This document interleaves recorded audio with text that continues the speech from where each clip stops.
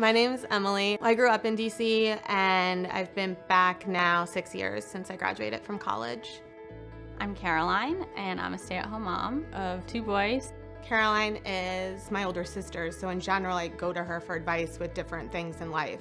Auntie M is amazing with the kids. She's an awesome aunt and she just really loves them. My mom was diagnosed with cancer January 2012 and that was actually the year I was engaged and planning our wedding. She had triple negative breast cancer. My mom was a BRCA mutation carrier. I was like, I need to know. So I went in and I met with the counselor. She went over all my risks, you know, and I was 50 for chance I could get it or not.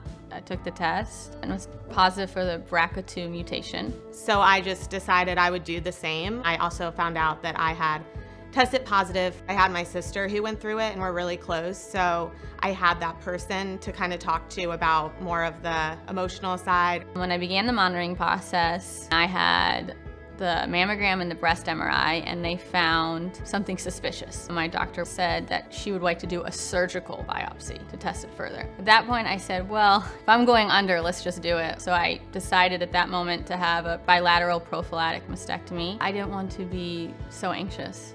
So that's why I decided to go that route because it would just been on my mind. It was a really good decision for her, but you know, it's not a casual surgery. Being single and young and not really knowing what my future held, I knew that I wanted to just continue with surveillance. I didn't feel settled enough to really take that on or didn't feel emotionally ready for it. But as I'm getting older now, I kind of feel like I'm getting there.